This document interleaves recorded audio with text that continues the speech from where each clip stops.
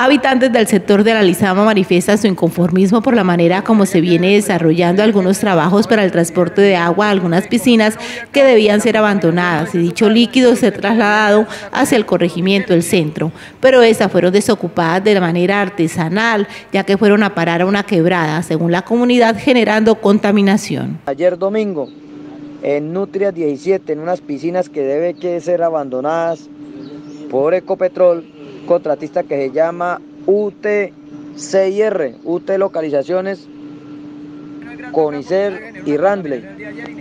Ellos debían que sacar una cantidad de agua y llevarla hacia la planta deshidratadora del centro, desde aquí de Campolizama. Pero ¿qué pasa?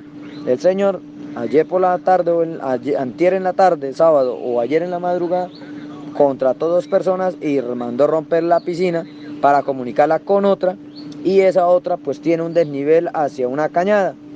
¿Qué hicieron? Pues ahorraron y votaron como lo de 50, 50 que carro tancados de agua por ese caño. Igualmente aseguran que no se ha realizado el estudio ambiental para la recuperación de las especies en este sector, por lo que piden un pronunciamiento oficial y una solución a este problema ambiental que según la comunidad se viene presentando. No iban a hacer el, el tema ambiental, quieren cubrir unos peces, un poco de tortugas, porque hay tortugas, hay también babillas, y no han hecho tampoco la recolección ambiental, la iban ayer incluso, iban a botarle tierra, 10 volquetas, doble toque de tierra, y iban a tapar la piscina, y con esa chamba que tiene, pues iba desaguando hacia la otra, y ahí iba el caño.